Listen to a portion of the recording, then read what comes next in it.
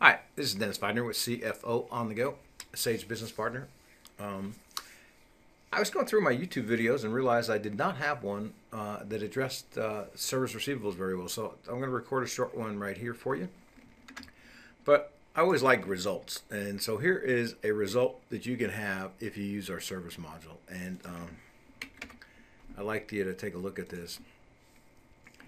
This is a report that's profitability by tech. So I didn't show you, but you can do this for any date range or for any tech. But this is every work order that Carlos worked on, the date that he worked on them, what he did, what we billed a client, and what our gross profit is. Uh, and so I can look right down here and say, hey, Carlos billed out for that period of time $109,000 in work orders and maybe $56,000. And the answer to the next question you have is no, you cannot hire Carlos. Uh, he's not available. But wouldn't you like to know how much money each one of your texts makes you each week, each month, each quarter? Uh, and then at, le- at, least you know who you want to keep and who you don't want to keep. And so uh, that's a, a great report. Uh, clients absolutely love that report. Uh, but let me show you how I get to that. And it's just just an overview. I'm not going to get into a lot of details. Uh, if the phone were to ring right now, I'd click this button on my desktop. Uh, it brings up a work order screen I'm going to do this two different ways, uh, and there's no right way and there's no wrong way. Uh, I don't put an invoice number in here. I can look up the client by phone number. I can look up the client a lot of different ways, pull down menus, alpha. Uh, I just happen to know Jessica's number. So uh, Jessica is my client. Uh, it's going to pop up here and tell you if they have an outstanding balance and if that balance is past due before you go out there and do the job. And in this case, we're just going to fix something. Okay. Um, I'm not going to go through a lot of this other stuff over here. We can do that when you have a demo. I can now say, who do I want to send out there? And of course, I'm going to send Carlos out there because he makes me a lot of money. And then here's all you have to do. What's the priority? It's a normal. We're just going to call it normal. Uh, I want to schedule them for tomorrow, so I just hit my plus sign to change that date. They want them there at 7 a.m. Uh, it's probably going to be a two-hour job, so it'll be done at 9 and um, it's going to take him 30 minutes to get there from the office.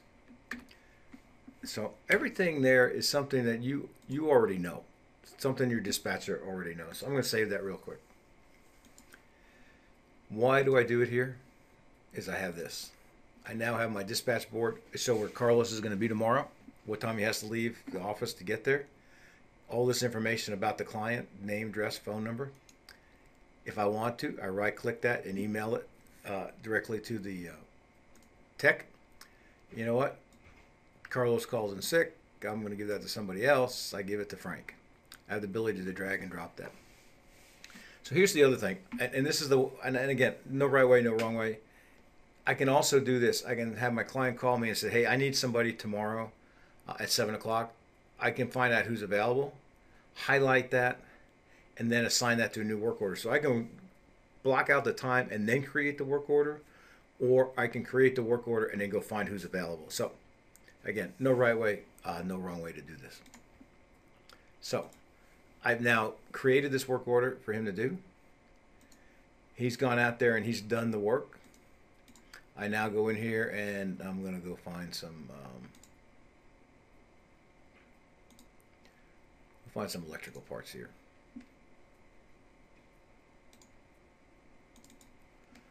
And we'll just say he used, um, actually I'm going to do the insert multi-mode. Uh, we'll say he used this, he used some of this, he used some of this, he used one of those, and he used one of these, okay? I then say insert those, there are those items. I come over here and I put in my quantity. So in this case I had five, four, three, two. Anybody want to guess what the next number is? One. Uh, I do that I recalculate this. I come in here and then um, see if I remember the part number here. I think it's 87. Nope. Uh, I'm just going to type it in. I'm just going to call this uh, service labor. Uh, it's by the hour. He was there for 2.5 hours. And I would have a part number for that. I just can't remember what it is right now. And then speed is the issue here. Uh, and he's at 87.50 an hour. Again, I extend this. I now have an invoice to send to the to the client. I can come up here and I can. Um, I have a choice of sending the work order, uh, the invoice. In this case, I'm going to send the invoice. Up at the very top right, you'll see I have the ability to print that and stick it in an envelope and stick a stamp on it, kind of old-fashioned, but you can do it that way.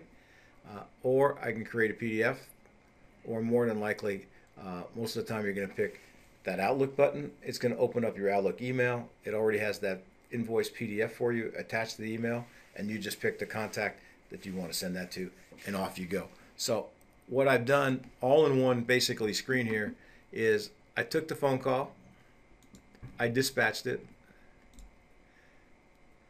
I invoiced it, and I'm done. And now all that information is available for reports.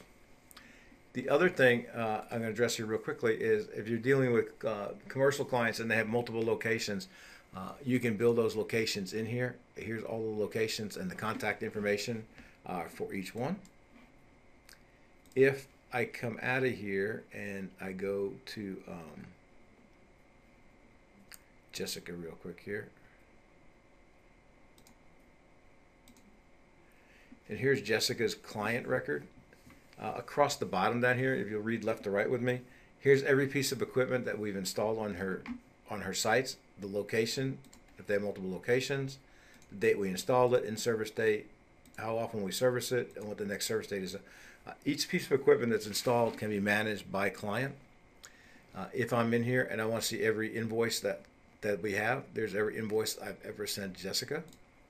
Here's all of my service contracts because we can manage contracts for um, if your HVAC filter changes, uh, plumbers, maybe you have an annual inspection of the boiler uh, or furnace, uh, what have you.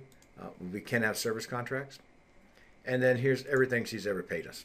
And I can drill back to the actual detail if I need to. So anyway, that service, it's a nutshell. Uh, in a nutshell, I don't want to get in a lot of detail because everybody does things differently and has different questions. But we can take the phone call, dispatch it, put it on the dispatch board for everybody to see. We can email it to the to them.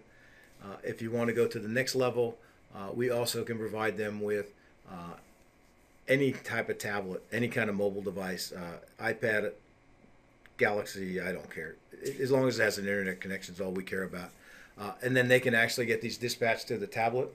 They can actually see all the details on the tablet, all of the previous work orders for that client and that location. They can also get field signatures in the field and leave a receipt uh, for the client. Your choice. It could be priced out, or it could not be priced out. You know, obviously on residential you want it priced out. On commercial, you just want to take, catch a receipt, you know, signature, so you can show that the work has been done. So anyway, if this is something that you think would benefit your company, and I think knowing how much each technician makes you for a period of time is something you should know. Uh, it's a mouse click for us. There's no extra effort. Just managing the process uh, will create that report uh, without any additional work. So anyway, my name is Dennis. Uh, our phone number here is 800 659 5851. So 800 659 5851. Uh, and we got tons of, I think I've got 130, 140 videos out on YouTube about the Sage 100 product and some CFO tips. My background CFO for a long time, and some CFO tips on how to better manage your business and your financial aspect of your business. So uh, take a look at those. Uh, if you have any comments or have any questions, please give me a call. I don't charge for phone calls. Thanks.